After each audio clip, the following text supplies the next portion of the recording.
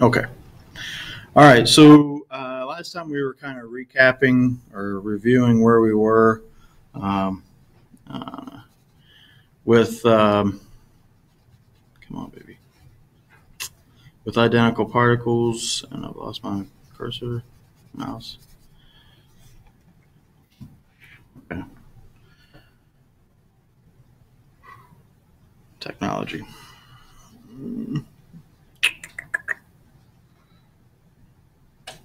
Are you still there, dummy? Yes, I'm still here. Okay. Let me see what I've got open here. Okay. All right, I'm back. Okay. Uh, so we were recapping uh, where we were as far as identical particles. Um, we talked about how you write down states uh, under this exchange symmetry and how you can use a, a permutation operator to uh, to basically build. Uh, we'll we'll see later on. You can um, use it to basically build your states once you once you uh, get beyond uh, n equals two number of states. Um, so uh, towards the end of last time, we started to talk about uh, the specific case of two electrons, right? Two electron system, and we said that. Oh, you guys can't even see this. you guys are. Uh, oh shit! How do I do that?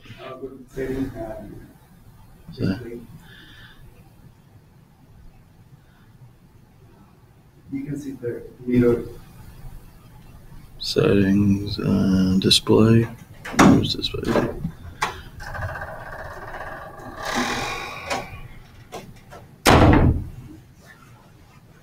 Do you see it? Mirror displays right here.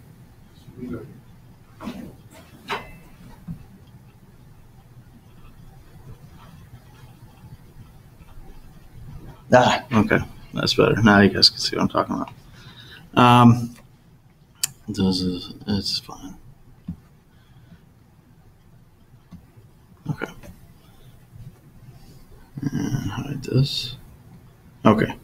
So we all right. So we finally uh, so we were talking about the two electron system, right? So this is just a we're just considering two pair uh, a pair of electrons uh, in free space, and what we were saying was that we could write down the state in terms of a handful of quantum numbers. So we could use uh, position space and write down uh, state in terms of their position and coordinates. But we also have to include spin. So these are particles with spin. So we, when we specify the state, we have to specify the spin. All right, so I started with a general state that I call alpha, and basically uh, just you know multiplied it by one by using our completeness relation for these states, whatever they, they might be.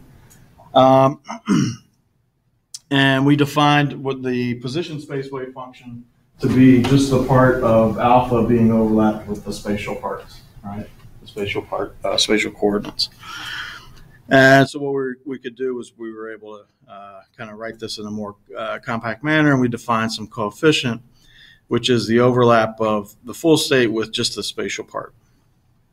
Okay, so we said, all right, well let's let's consider the case where uh, the total spin operator uh, commutes with the Hamiltonian, and in that case, just like we saw when we studied uh, the hydrogen atom, when we talked about orbital angular momentum and things like that, anytime you have a situation like this, you you can write the states uh, in a separated form, right? So you can write your full wave function in terms of a spatial part, right, and in terms of a spin part, right? So for us before, uh, this, you know, if you think back to the hydrogen atom, uh, this would be like the maybe you know maybe the radial piece uh, or the uh, I guess kind of uh, the radial and the angular piece, and this would be like you know uh, spherical harmonics, say, right?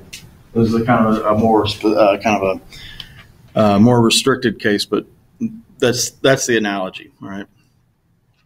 Okay, and so so we have two spin one half particles, and if you go back and re, you know review uh, how you add those spins, right, to get the total spin, you'd see that you end up with a possibility of four states.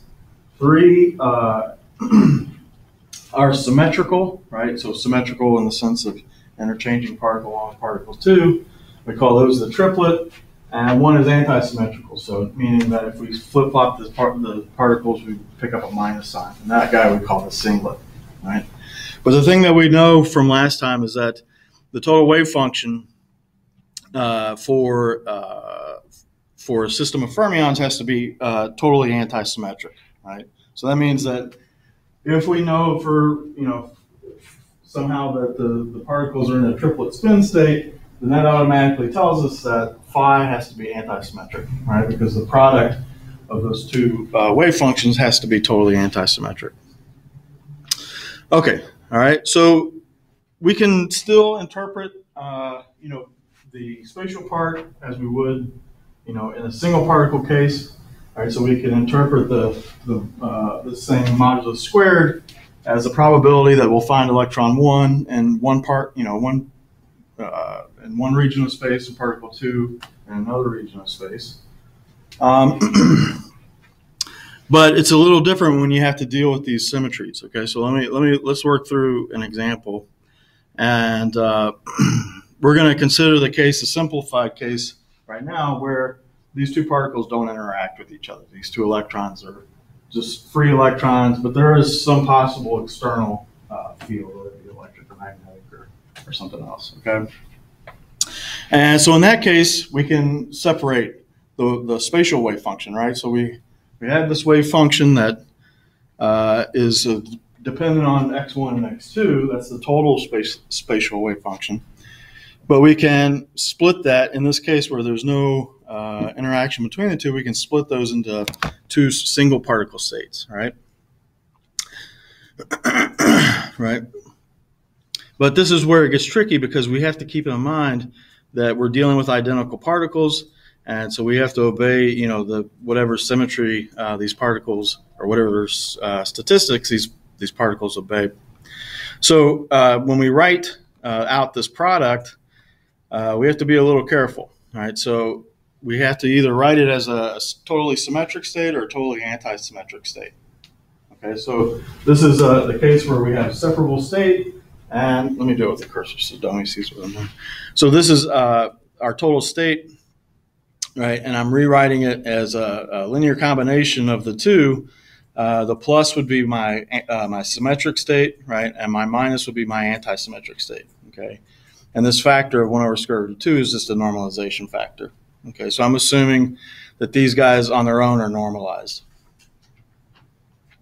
Okay, so then uh, we can take this guy in the case where we are able to separate the, the wave function and take the modulus squared, right? So plug in our expression. Here I get the plus and the minus, right? And square this thing out. And when I do that, I get, you know, uh, one term that's like the probability of particle 1 to be at x1 uh, times the, part, the probability of particle 2 to be x2 plus the probability vice versa, right? Does vice versa have a past tense? I don't know, but it, it's vice versa. Um, but we also have this kind of uh, cross term, right? And it comes with a plus or minus sign depending on uh, if we're working with a uh, symmetrical or anti-symmetrical state. And this thing itself, the stuff inside of here is called the exchange density, just for um, historical reasons. Okay, so let's ask ourselves what you know what does the spatial wave function look like in particular cases. All right, so if the electrons are in a spin triplet, so that means the spin part of the wave function is symmetric, right? So the uh, total wave function has to be, I mean, the, the spatial wave function has to be anti-symmetric. Right, so that means that we take this minus sign, right? So that would be that would give us the probability. But what happens if we try to take particle one and particle two and move them uh, very close together? Like try to put them at the you know basically the same position in space. What, what would happen if I if I just let say let x2 go to x1 here with this minus sign? What's going to happen? I'll give you a second to stare at it.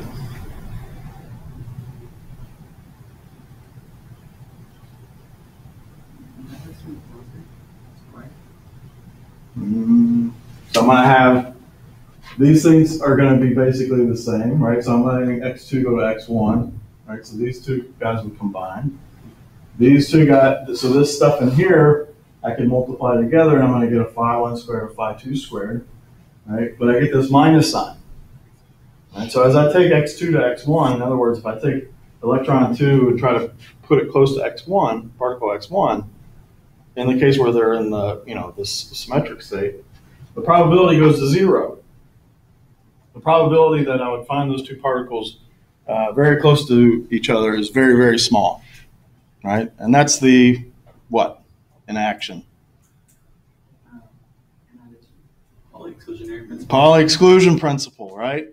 We, we have the particles in, uh, in a symmetric uh, wave wave uh, spin state, right? so you know, think of it as like the sp- the easiest one to think of is like spin up, spin up, right? So they both have the same spin. So that means that what whatever's left over to describe the state, in this case, it's the spatial part. It can't be the same, right? It has to be different because if you try to make it the same, the wave function is going to collapse, or the, in this case, the probability. Okay. And in the case of, in the other case where you have the spins in, uh, in a singlet, so this is where you have uh, spin up, spin down, and um, the electrons are, uh, I mean, the uh, the spin state is antisymmetric. Then that means that we want uh, uh, the spatial part to be symmetric. Right. So the spin state is antisymmetric. We want the spatial part to be symmetric, so the total wave function is antisymmetric. Right. And in that case, what happens is the probability gets enhanced. Right. So the probability gets enhanced uh, because of this plus sign. Okay, so when particles are, or when the electrons are in, uh, you know, opposite spin states, they like to be close. They, they don't mind being close together. Okay. Okay. Okay. Any questions on that? So this is just a this was just a simple case where we had a system of, of two free electrons, and we didn't let them interact uh, with each other and later we'll come back later on and we'll add a whole bunch of a whole bunch more of electrons and see what happens. Okay. But what I want to do next is talk about uh, the helium atom. Okay. so we've talked. So we just talked about this two electron system. Uh, it's you know you, it's not possible really to, to you know to build an experiment where you only have two electrons right that don't interact with each other. It's it's it's impossible. So what we have, uh, you know, the, the, the, the, I guess the best real world example of a two electron system is going to be the helium atom, right? So here you got a nucleus, a very heavy nucleus. It's made of two protons and two neutrons. I don't know. I don't remember. And then two electrons, right?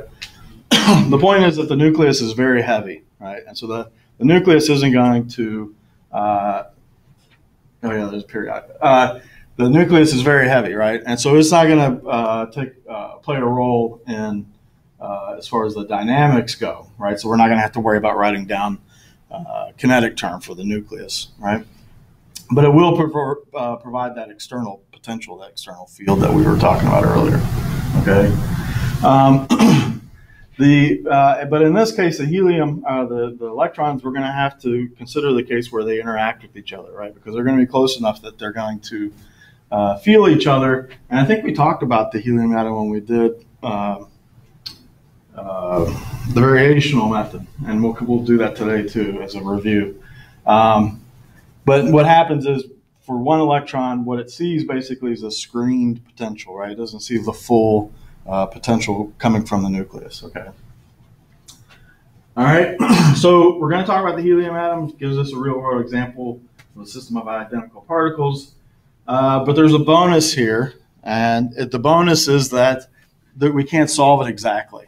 Okay, we can't solve the helium atom exactly, so we have to resort to approximation methods. Okay, so this gives us uh, a chance to uh, play around again with uh, our old friends, perturbation theory and the variational method. Okay, so there's no there's no getting away from uh, approximation techniques. Okay, so this is our system. All right. So it looks a lot like what I had before. So I can put this nucleus uh, at the origin, right? And then specify the positions of uh, electron one and electron two like this. right? Where the distance between the two, the relative distance, is given by R12. Okay, so I'm gonna, I should say there, there's a couple steps in here where uh, I'm gonna pull uh, relations out of nowhere. Okay, so don't get caught up on uh, where these relations come from. It's not that important, but um, uh, it's just it's just math. Don't worry about it. Okay. Um, okay, so what we have is our the Hamiltonian that we had before, basically, which describes the kinetic energy of the two electrons. We have the uh, Coulomb potential for each of the electrons, and then we have their interaction term, right? And the interaction term is a plus because these guys are uh, have the same sign, and so it's a repulsive uh, interaction. Okay, and I'll be using R1 uh, R2 and R12 to des- describe uh, the, the distance, the magnitude of the distance for the particles, you know, from the nucleus or from each other. Okay, so uh, what I want to do is first consider the case that we just did, bless you, uh, where we neglect the, the, the interparticle interaction, the inter-electron interaction, right? And we just saw there that the Schrodinger equation is separable, right? So we can write the total wave function as just two hydrogen wave functions, okay? Uh, and all we need to do really is basically take our, you know, the solutions that we have for the hydrogen atom and replace uh, z equals one with z equals two. Okay, that's basically all you have to do in this separable case. Um, but now we want to include spin, right? And you can you can easily see that the total spin is a constant of motion because there's no spin dependence in the uh, in the Hamiltonian. So if it if, if the spin operator commutes with the Hamiltonian, then this thing's a constant of motion, and we have we can specify uh, the state by these simultaneous eigenkets of the Hamiltonian and the spin operator. Okay. Uh, right. And from our earlier discussion, we know that the spins, the spin state is either going to be a singlet, uh, which is antisymmetric, or a triplet state, which is symmetric. okay, so let's consider the particular case, or this, the yeah, the particular case where both electrons are in the ground state. Okay, so n equals one, which means that L equals zero and M equals zero. Okay, so we have a system with uh, both the electrons in the ground state. And if you're you know, a chemistry buff, you might call this the 1s. What do you call it? The 1s2 state or the 1s? It's not squared, right? I don't remember. It's been so long since I took chemistry, but um, anyway, so the, the notation is this, right? So we're in the n equals 1. S means that L is equal to 0, and 2 means that we have two electrons in that, in those states, in that state, okay? and this guy is necessarily symmetric, right? There's um, uh, it's just it's just what it is, right? It's just uh, the product of the two uh, spatial parts, right? And so that tells us right off the bat that the electrons have to be in a spin singlet. Right? In other words, they have to be one's up and one's down, right? And that you should remember from um, from chemistry or you know from whatever. Okay. All right, so we know what the, the, the total wave function is. In the case, this, so this is a simplified case where we're not allowing the electrons to interact with each other. Okay, so we've we've got a total wave function that's a kind of a product of two uh, one particle or two hydrogen atom uh, wave functions and the spin operator or the spin state, which is a singlet in this case. So we can plug in uh, the expression that we have for hydrogen wave functions and write it like this, right?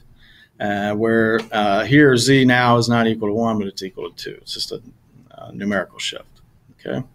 So we've got our wave function uh, for the for the ground state, okay, and so we can go and try to compute the expectation value of the Hamiltonian, in other words, the ground state energy. And what we get is uh, when I calculate it and put in the numbers, I get about minus 110 electron volts, and it turns out that uh, that the uh, the true experimental value is a lot larger, right? It's larger by 30 electron volts or so. Okay. So what that's telling us right off the bat is that, you know, neglecting this interaction between the electrons is not a good approximation. Okay. So we have to put this interaction term back in. Okay. So we want to put this interaction term back in and try to solve it. And the problem is, like I said in the beginning, once you put that interaction in, uh, the problem becomes uh, uh, non-soluble or non-solvable, or you can't solve it. Okay, analytically, you could do it numerically if you wanted, and that's typically probably what people do. Okay. Uh, right. So, well, we're not going to try to do it uh, numerically. We're going to try to do it using our approximation techniques. Okay. So the first thing we're going to try is perturbation theory. So this is um, time independent, non-degenerate perturbation theory. Okay. And our so we're going to break the Hamiltonian into the simple piece and the small piece. Right. The simple piece would be the Hamiltonian that we had after we dropped that interaction term. Right. So it would be these first four terms right? And we already know the solution for that. It's this, okay? And the the um, the small term is going to be this Coulomb interaction between the two electrons, okay? So what we want to do is compute the first order energy shift uh, uh, uh, um, to the ground state, okay? And if you remember, that's just basically uh, the expectation value of our interaction between the the the uh, simple eigenstates, right? The simple ground state eigenstates. Okay. So in other words, what I want to do is, is take this thing and I want to integrate it. So, so the fact that I'm computing this matrix element, but it's uh, an integration over these wave functions. Uh, so I've plugged in two two factors of the wave function, right? And here's my interaction term being multiplied in. Okay. So what I need to do is I need to do this integral. Okay, and uh, it's this is not an easy integral. this is an integral that you might see in Jackson, or uh, I think it does show up in, in Jackson uh, electro electro uh, the the Jackson book, not my book, the the the other the bad Jackson. Okay, the evil Jackson. Um, so the, the reason that it's hard is because this is because this R12 term, right? Think about what R12 is, and it looks something like this. It's the square root of R1 squared plus R2 squared minus 2R1 R2 times cosine of the angle between the two. Right, so the angle uh, between these two is just a is just a constant. We don't have to. Uh, well, it's not a constant, right? It's a product, or it's it's some linear combination of how we define. Uh, let's go back to the picture real quick. Right. So so for us, gamma would be this the the angle between these two, but gamma is really uh, you know if we called this theta one, this angle here, uh, or that's theta two, right? And then theta one, then gamma would be what? Theta one minus theta two, right? So gamma is some combination of theta one and theta two, which we're integrating over. Okay, so all that is just to say that this integral is really, really hard. Okay, because the, the angular integrations are hidden in here. So what we do is we're going to use mathematical trick. Okay, so this is one of those that I said don't worry about, uh, but you can rewrite this thing in terms of uh, uh, uh summation that looks like this. So you're summing over uh, the angular uh, orbital angular momentum quantum number. Okay, so this comes this goes back to the idea that you can you know when you have a, some function that's a piece of you know radial times or radial and angular variables, you can always write it in terms of uh, Legendre polynomials. Uh, but in this case, it's a little tougher. So uh, the the prefactor of that of that Legendre polynomial is going to be some uh, ratio of uh, what I call R lesser and R greater, where R lesser and R greater is the smaller or the larger of R1 and R2. We're using it in right now. Okay, that's what I yeah, that's what I thought. I, when I was when I you know this is in I don't know what book this came from, but this is in the quantum book. But every time I look at it, I just have flashbacks of E and M. I just remember. We're using it. Okay, good. So you want to come up to the board and prove it? No. Okay. All right. um, no, so so we'll we'll just use it. Okay. So we're going to rewrite it like this. Okay. And in fact, what we're going to do is we're going to use the fact that um, you can uh, rewrite uh, this thing, and I wrote down the name of it. It's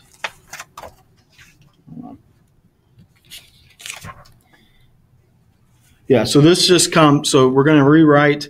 Uh, remember, this thing is a gamma is a you know some combination of theta one and theta two and phi one and phi two, which I, I didn't say earlier.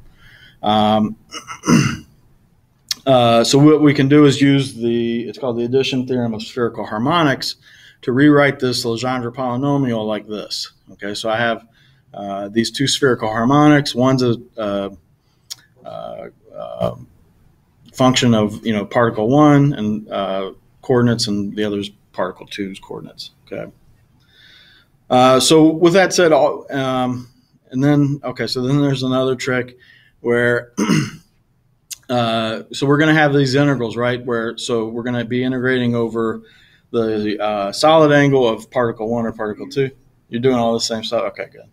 Uh, uh, so this is just in general, right? So you can use this trick, which is basically using uh, the orthogonality or, or orthonormality of the spherical harmonics, right? So you basically multiply and divide by the square root of 4 pi, and 1 over square root of 4 pi is y zero zero, right? And so then you can uh, do this integration, and it tells you that L and M has to be 0, right? So it's a little trick um, to simplify your lives.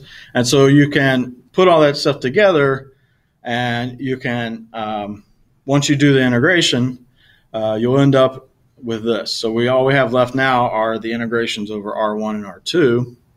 And so these two terms are coming from this sum, uh, this sum right here, the sum over the R lesser and R greater, right? So this would be uh, the case where R1 is greater, and this is the case where R2 is greater. Okay, so that's why we have two terms there. Uh, and there's some other algebra going going on here. Okay, but this the good news is that now we can do this integration, right?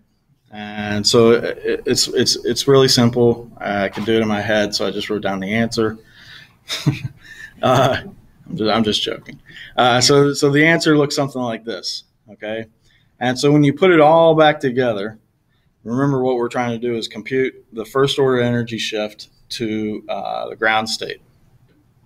Right? And what I get when I put all that stuff together is this kind of mess. So here's prefactors coming from that original integral that we had. We get some 4 pi's coming in from the angular integrations. And then we get this thing from the radial integration. Right? And then when I multiply all that stuff out, I'm just left with this thing. Nice little expression I know what the value of E is. I know what the value of the Bohr radius is, so I can plug those values in and get a number, right? And what I find when I add this to the unperturbed energy, which was minus 108 or something like that, I find that um, I get down to about not minus 74.8 electron volts. So now, using just for you, just using just uh, first order perturbation theory, I'm already within five percent. Okay. All right. So that's that's using perturbation theory, and, and, so you know you could do this, and depending on what the experimental errors are, um, I'm, I'm, guessing nowadays they're probably really really small. Uh, so you would have to go to next order in perturbation theory, compute the second order uh, energy shifts. Okay. Uh, and hopefully, you know, they would it would start to converge on the experimental um, values. Okay, so that's not too shabby right? We got we did simple calculation and we got within five five percent. All right, so now let's shift gears and try to do this same calculation. In other words, try to calculate the ground state energy uh, when the when the electrons are allowed to interact. But in this case, let's use the variational method. Okay, everybody remember the variational method? It's been a long time, but so I'll, I'll, I'll review it as we go through. Hmm. Yeah, yeah, yeah, yeah. So when in doubt, guess. Right. So this is so so variational methods just educated guessing. Okay.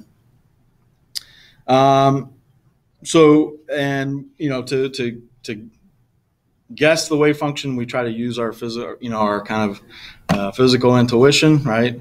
And uh, let's see, right. So so this goes back to what I was talking about earlier that if you just you know sat on one of the electrons, basically what it sees is a Coulomb potential, right? It's a combination of Coulomb potential from the nucleus uh, and the Coulomb potential from the other electron, right? And so what it sees basically is kind of a screened potential. And by screened, I mean it's not as strong as what the potential just from the nucleus would be, right? So uh, what we might try to do is use uh, write the, the wave function as a product of two um, single particles, you know, single part uh, hydrogen atom wave functions, but use the z as kind of our variational uh, parameter, if you will, right? So that'll be the parameter that we'll try to um, uh, minimize, right, uh, with respect to. Okay, so in other words, I'm going to take uh, wherever where I had z before, when I write down the, the wave function, I'm going to replace it with z effective, and z effective is what we're going to uh, uh, optimize, uh, use to optimize our calculation. Okay. So in other words, uh, my wave function is going to look like this. So this is my trial wave function. Remember, that's what the squiggle on top means.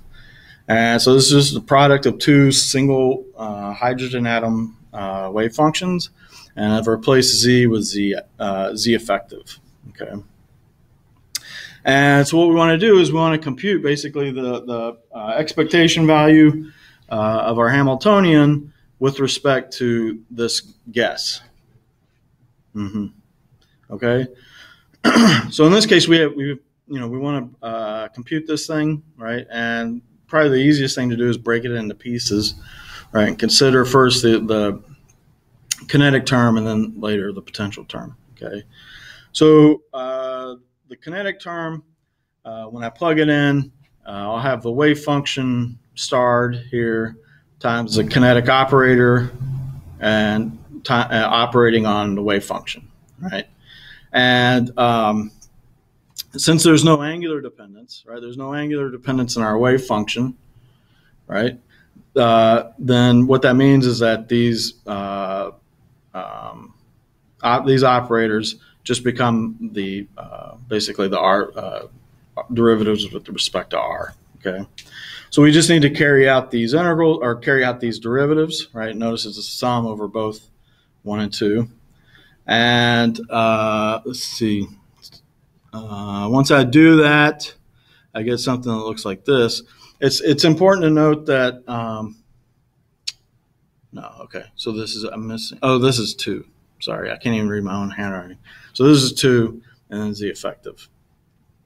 Okay, but when the smoke clears, you you can you're able to uh, do this integration uh, once you've carried out those derivatives, and you get something that looks like this mess. Okay, and you can simplify it and get it down to something that looks like this. Okay, all right, and then uh, next, what you want to do is consider the potential part.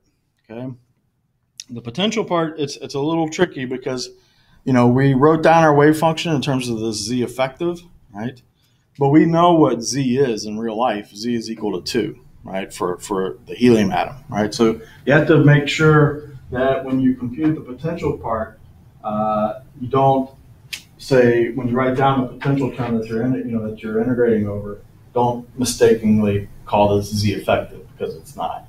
Right? It's we know what it is. Okay. So this term right here. Okay.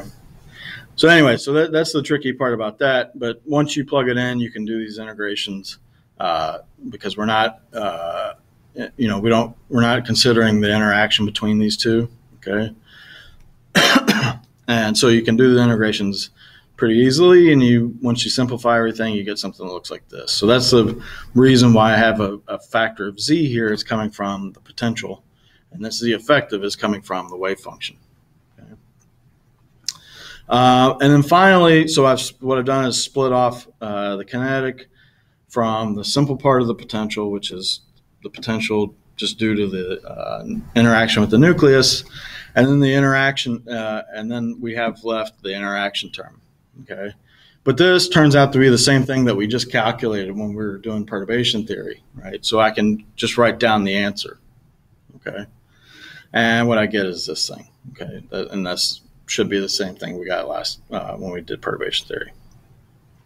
All right, so what I find is what we call big H bar, which is basically just the expectation value or Hamiltonian with respect to these uh, trial states. Uh, when I put it all together, it looks something like this. Okay, So we've got H bar, big H bar, and now the next step is to minimize with respect to our parameters, right? And so in this case, we only have one parameter, it's Z effective. So we want to take a derivative, set it equal to zero, and solve for Z effective. All right, so that's what I do. And I find that Z effective is 2 minus 5 over 16. Right? And at that point, you should ask yourself, does this make sense? Right? Um, and, in, and the answer should be yes, right? Because we would expect Z effective, that screened potential, to be weaker, right? And what controls that, you know, basically the, the, the scale of that potential is the Z, right? The Z, the number of protons, okay? And so we see that it's less than two, and so we have some faith that we're doing at least something correct or correctly, right? So we find that Z effective, once I put, put the numbers in, is like 1.7, okay? And so finally, what I do is I take this Z effective and I plug it back in to my uh, expectation value of big H bar, and I find that I get minus 77.5, right? And so again, you see that uh, using uh, using the variational method with just a very simple guess uh, as far as you know what the wave function would look like, we get within one percent or so of the actual value. Okay, and so you can see why uh, this technique is you know uh, used by chemists a lot because it's it's easy, so they can understand it, um, but it gives it gives pretty good results. Okay. Um, right. Okay, so that's where. Uh, so I'm going to end there. Okay, but don't you know? I don't want you to go away thinking that perturbation theory is crap compared to the variational method because it's not. Right. The variational method is good for estimating ground state energies. Right. Perturbation theory is, good for a lot of things. Okay. So even though you know we were off by five percent or so in the perturbation tech, you know, theory uh, technique. Uh, you know, it has a lot more applications. Okay. All right. So next time uh, we'll talk about excited states of helium. Okay. So we'll start to talk about like where one of the electrons is in a higher uh, orbital or higher, whatever you call it, energy level. and we'll start to talk about systems with n greater than two. Okay. So we'll start to talk about large or, you know, systems with a large number of electrons or, you know, bosons. Okay. All right, so that's all I got for today. Um, there any questions? No. Okay, so I I recorded this. So it'll be on. It'll I'll put it on YouTube. Notes are already in the Dropbox. Um, so if you have any questions, let me know. Okay. All right.